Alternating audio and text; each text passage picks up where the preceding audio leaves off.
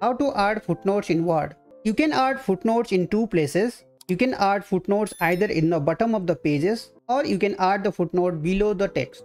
So let's learn both the ways how you can add footnotes in Word. To add the footnotes in Word, first put your cursor where you want to add the footnote. For example, you want to add the footnotes at the end of the word, then keep the cursor there, then go to reference tab. You can click on this footnote launcher dialog box so that you will get the footnote dialog box in which you have lot of options how you can modify your footnotes and add to the word.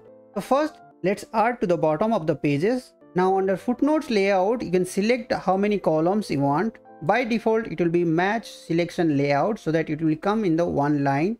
Then you have a format where you can change the footnote format whether you want 1, 2, 3, ABC or any other format. In case you want to use any symbol or custom mark that also you can use. Then if you have defined the number format as 1, 2, 3, then you can either start at 1 or you can define from which footnote number you want to start. Then the numbering if you want continuous or restart each section or restart each page. So you can define where you want and how you want the footnotes. Now let's click on insert. Here you can type the footnote text. Let's say add footnote text here. So now you have one assigned here and for that you have the footnotes in the down. Now let's learn how we can add the footnotes below the same paragraph or same text rather than having at the bottom of the pages. To add the footnotes at the below the text, click on this footnote arrow, click on footnotes type as below text and click on insert.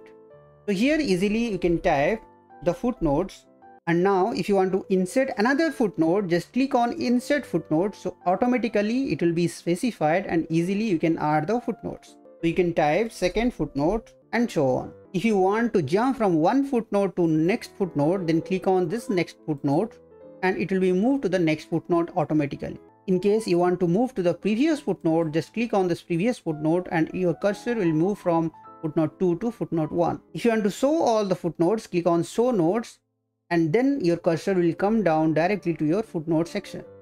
If you want to click again, then it will come back to your first footnote. This is all about how to add footnotes in Microsoft Word. Thanks for watching.